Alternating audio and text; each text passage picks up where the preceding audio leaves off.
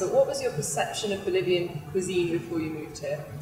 I had no idea about Bolivian cuisine. I'm going to be very honest. Um, it was, uh, of course, Peru was coming up, but uh, by the time we left Denmark, it was still very much about the Nordic movement and the new generation of Norwegian, Danish, Swedish chef coming up. So when we came here, it was kind of a let's figure out what this is about. So.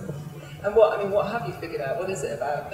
It's a, it's about a lot of flavor. It's about a grandmother kitchen traditions. Um, a lot of uh, labor. You know, there's a lot of empanadas that's folded really beautifully. There's a lot of uh, traditions of eating what they've always eaten, and you know, it's not. It's still, you know, on the on the edge of, of finding this new Bolivian revolution. Um, so, so it's still very traditional. And what are the traditional cooking methods that people? Uh, there's a lot of soups, of course, because it's the way we've always done all over the world. That you have a little bit of this and this and this, and you put it in a bowl and you leave it, and then you go to work and you come back. Um, and since there's still a lot of families living in, in the countryside here, it's uh, it's still the tradition that uh, you put something over in the morning and then you come back and it's ready at, in the afternoon. Um, of course, a lot of Bolivia so diverse. Uh, so 20 minutes from here, you're in Beni and you eat. Uh, uh, surubi or paiche, these huge Amazonic fish wrapped in banana leaves and cooked over open fire. And then you go 20 minutes from here to the Altiplano, and then you have uh, freshly dug up potatoes with uh, with homemade cheese. So the, it's completely different depending on where you are in the country, but but very much each region, you know, preserves the traditions very well. And what or flavors that you'll find in cuisine? There's a lot of ají, uh, the chilies, either sweet or you know very.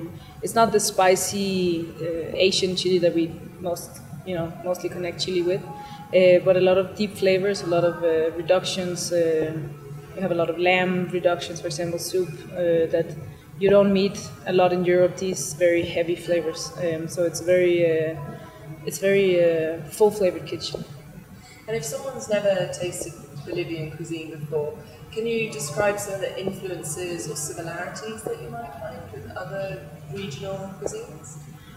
Um, I think, and this is this is mostly talking from, from La Paz, Sucre, this, this area around here, um, because as I'm saying, if you go to the jungle, it's completely different. Um, but if we think of, of curry dishes, for example, that you have something very, uh, you know, you have a lot of flavor, you have a lot of presence of, of, of this one element. Um, and then you can pretty much add whatever you want, if it's lamb or if it's beef or if it's pork or chicken or whatever. Um, but the dominating part will be the, the ají, for example. And what is the kind of the concept that Gustu really works on? How is the restaurant's concept in Bolivian cuisine? We've been uh, interpreted in a lot of ways, uh, but what we what we always been and what we will continue being is is a is a restaurant in Bolivia, not a Bolivian restaurant, uh, with products 100% from here. Uh, from the wine cellar to drinks to, to food, uh, everything here is 100% uh, local. So we do a very, very tight zero kilometer policy. Um, but then we, you know, cooking wise and how we prepare it and everything is 100% inspired of whatever we want. okay, super. And what are some of your personal favourite ingredients? Because you've obviously got a lot to pick from around the country. What is the thing that really shines for you from here that you love cooking with? there's a lot of things that you know it's it's the diversity here is so ridiculous that every day we meet a new product and it's you know I've never experienced this. Um, the fruits I really like because they're so different from what we're used to in Europe.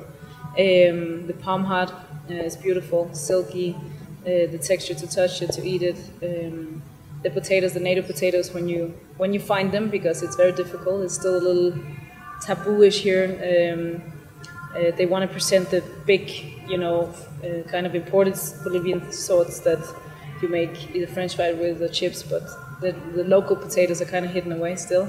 Uh, but when you find them and they're pink and purple and you know beautiful, it's it's incredible. Wonderful. And obviously Bolivia is a land of really high altitude. what kind of, in what way do you see the altitude affecting some of the products or the produce from the country? Um, Bolivia is mostly uh, jungle, if you look at it like percentage-wise, but because Bolivia is often, you know, the concept of Bolivia is a lot of llamas and, and high altitude, it's a little bit confusing. Um, I mean, some of the products that are growing here are the ones that are meant to grow here. So you have extreme altitudes for quinoa, for example, cañagua, amaranto, potatoes, um, and then all the stuff they've been able to in- introduce in altitude, which is, it's funny because you see most of the same thing that grow in Denmark will grow in, in La Paz uh, because the climate is more or less the same and the altitude is not really affecting. But where you see it is, for example, in, in when you cook, no? in, in bread making, in when you cook any starchy things, rice, potatoes, everything. It's, you know, in Denmark you throw it in, you turn it on, you, you forget about it for 10 minutes, you come back and it's done. Here it's like 40 minutes later. what the hell is wrong with this potato? No? Um, so it's more like that that, that we can that we can see it. And obviously, you get a lot of tourists that come here as well. What is their biggest misconception about Bolivian cuisine? Um, I think they expect to be in Peru. uh, we have ceviche? Do we have, you know, it's become very uh, famous that like these one or two or three Peruvian dishes are suddenly South American dishes. Um, I think people don't know what to expect. Uh, so when unfortunately they find themselves trapped in some tourist trap with rice, potato, corn, chuño, choclo, you know, and they get the whole starchy plate and a dry piece of meat. It's very, you know, unfortunate because Bolivian cuisine is so much more than. But you need to look a little bit more. Uh, you can't just walk into any place. You need to go to either an old school classic grandmother restaurant or, or eat in the market. Most markets have really good food, and you'll see people standing in long lines. Um, so I think people don't know what to expect, so they eat whatever, and then they have a bad experience, and then Bolivian food is bad. Um, And what is the most surprising, best surprise that you can find in Bolivian cuisine? Oh, there's a lot of things. Um, I think when you find these little treasures in the street food, uh, we have a place we always go in the city that has tripe, um, and it's this lady who's been selling the same thing for I don't know all her life. And it's this big ceramic wok, and she's like scraping it off the bottom because it sticks a little bit and burns, and it's it's super delicious, and it's less than a dollar. Um, when you find these moments, you're like, oh my god, this is better than three stars Michelin.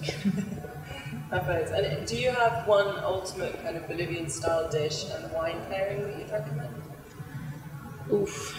Um, it's tricky. I'm not an expert on, on, on wine pairings, but I think wine is tricky with Bolivian food in general. Um, I would probably go for the moscatel, go sweet with something spicy.